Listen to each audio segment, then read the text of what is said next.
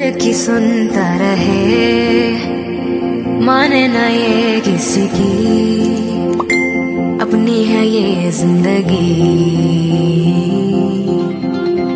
साथ, यारों का हो जो साथ। अपने लगे हर रात। वालेकुम viewers welcome back to my channel जैसे कि आप लोगों ने देखा है ऐज़ा खान और दानिश तैमूर इस टाइम अमेरिका में मौजूद हैं और अमेरिका में अपनी शादी की आठवीं सालगिरह मना रहे हैं और वो बेहद खुश हैं और आलिशान तरीके से उन्होंने सालगिरह मनाई है।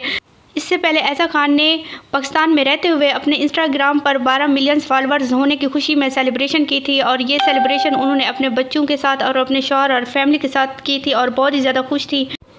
अब जबकि वो अमेरिका में मौजूद हैं और अपनी शादी की सालगिरह को मना रही हैं, ये सारी वीडियोस और तस्वीरें जो उन्होंने अपने मदाओं के साथ शेयर कर शेयर की हैं, उनके इंस्टाग्राम पे शेयर हुई हैं, वो सब देखने के लिए आप मेरी वीडियो को मुकम्मल वॉच करें। अगर आप मेरी वीडियो को पहली दफ़ा देख रहे हैं, आप मेरे चैनल पर पहली दफ़ा हैं तो मेरे चैनल को सब्सक्राइब करें बेल आइकन के बटन को भी दबा दें।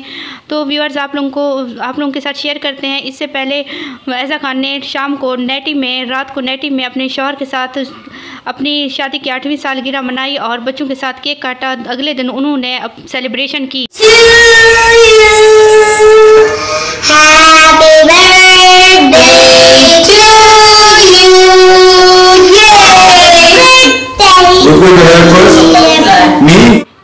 ऐसा खान और दानिश तैमूर ने पहले रात को अपनी आठवीं सालगिरह का केक काटा। अगले दिन उन्होंने अपने दोस्तों के साथ बड़े शानदार तरीके से शादी की सालगिरह को मनाया और आउटिंग की और बीच पे गए और स्विमिंग की। ये सारी तस्वीरें और वीडियोस आप लोगों के साथ शेयर की जा रही हैं। ऐज़ा खान और दानिश तैमूर के कपल को आइडियल माना जाता है और ये पहली दफ़ा हुआ है कि ऐज़ा खान दानिश तैमूर के साथ बहुत ही ज़्यादा रोमांस कर रही थी और ये पहली दफ़ा मदाहों को देखने को मिला है। इससे पहले ऐज़ा खान ऑन स्क्रीन या सोशल मीडिया पर ये शेयर नहीं कर